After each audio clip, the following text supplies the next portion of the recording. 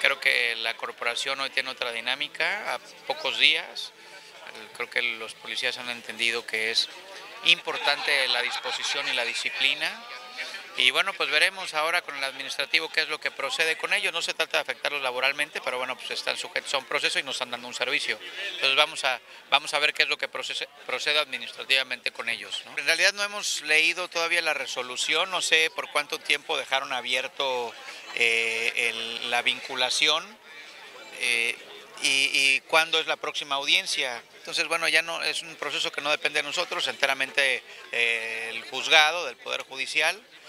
Y bueno, pues esperemos que esta solución, esta, esta, este juicio se resuelva lo más rápido posible. Eh, vamos a ver qué es lo que procede, tampoco eh, queremos afectarlos, si ellos eh, llegaran a salir absueltos, pues tendremos que tomar una valoración. Es un tema de disciplina, creo que es la falta más grave que se puede cometer en la corporación.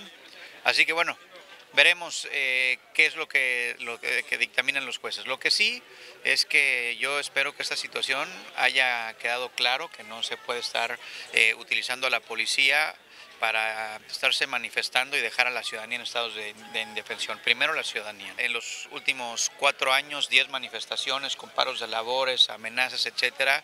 Me parece que los policías, como cualquier otro trabajador, tiene derecho a manifestarse, a pedir eh, eh, mejoras laborales, pero hay, formas para hacerlo.